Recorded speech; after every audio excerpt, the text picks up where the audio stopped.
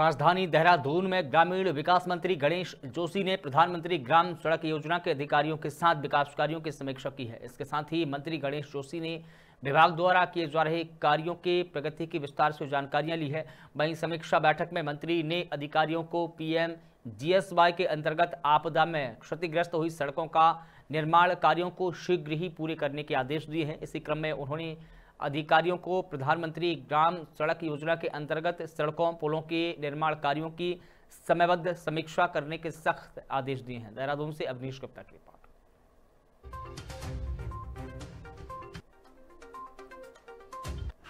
जो माननीय प्रधानमंत्री जी का एक बहुत बड़ा प्रोजेक्ट है, जिसके माध्यम से 250 तक की बसावटों को हम मुख्य मार्ग से जोड़ रहे हैं।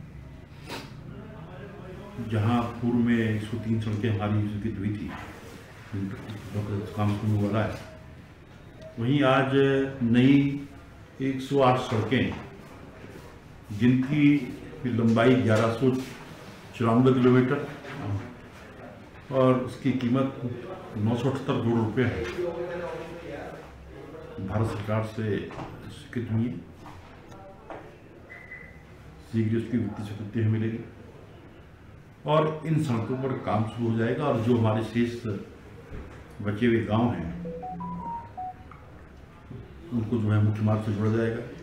इसी प्रकार, जो हमारे वाइब्रेंट विलेज में पिथौरागढ़ जनपद के टिडानू सिकू रोकांग मार्चा, पाजू, गूंट, टोला हिमलिंग आठ गाँवों को पाँच सड़कों के माध्यम से जोड़ा जाएगा।